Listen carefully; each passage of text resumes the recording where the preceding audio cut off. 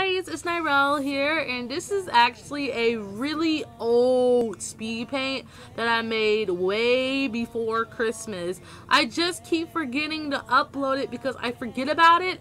I really just need to upload the videos I had already made before Christmas and stop leaving them on my computer because the longer I forget about them, the longer they're going to stay on my computer. So I may upload this Friday or it's going to be a Monday video. It may just be a Monday video because I know how people are on Mondays. They're bored. They don't want to go to schools. I guess doing a speed paint of a character will be kind of a cheerful way to wake people up.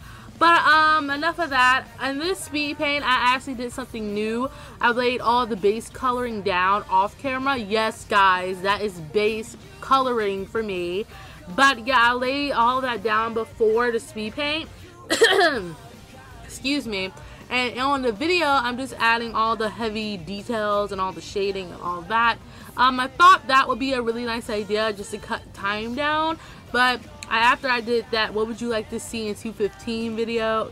I figured out that a lot of you guys really would want a full coloring video.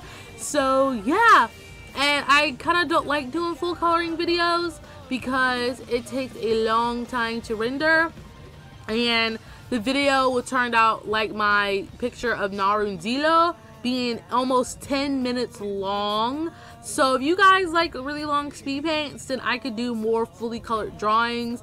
But if you like the way I did this picture, then put your opinions in the comments below because it will help. Now on to the drawing.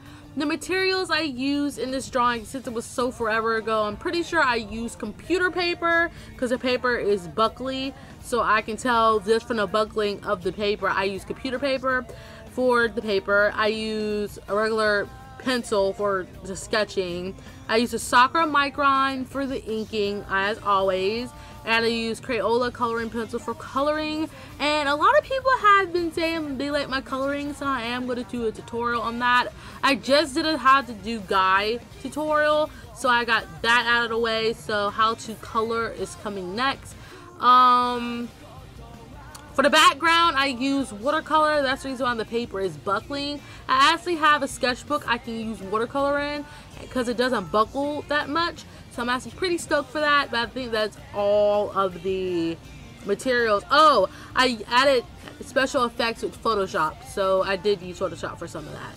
So that's about it for materials. So the character in this video is actually Akari from the anime Miracle Train. I love this anime. This is one of one anime that is very underrated and I don't think a lot of people know about it but it's amazing. It's a reverse harem, so if you're into reverse harems, then I really do recommend you to check it out because it's amazing. And I'm going to have the ending song from the anime playing in the background because I love that song as well. The singer of the ending song is actually the guy that does all the ending songs from Junjo Romantica and Sekaiichi Hatsukoi. So I thought that was pretty cool. So yeah, I like doing this picture because she's a really cute character. I, I want to do more cute characters because I have a more sexy style in air quotes. I don't think my style is that sexy, but I don't really draw cute characters. So I just wanted to experiment with cute characters and this is when I got into full bodies because I'm starting to do a lot more full body characters because I don't want to not do them because I want to grow as an artist. I don't want to be stunted as a half body artist that can't do legs or whatever. So this picture kind of leaned towards to practice more as to a drawing. So that's about it for me talking and I just noticed that I almost talked for the whole video which is surprising. But yeah, hopefully you guys like this picture. I thought it was super cute.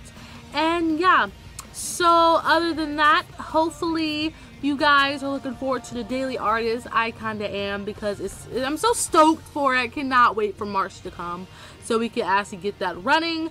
And the video is coming to a close. There is a picture of the final image at the at the end like always so hopefully you enjoyed this video you guys and I should have more speed paints up to come so see you later and bye bye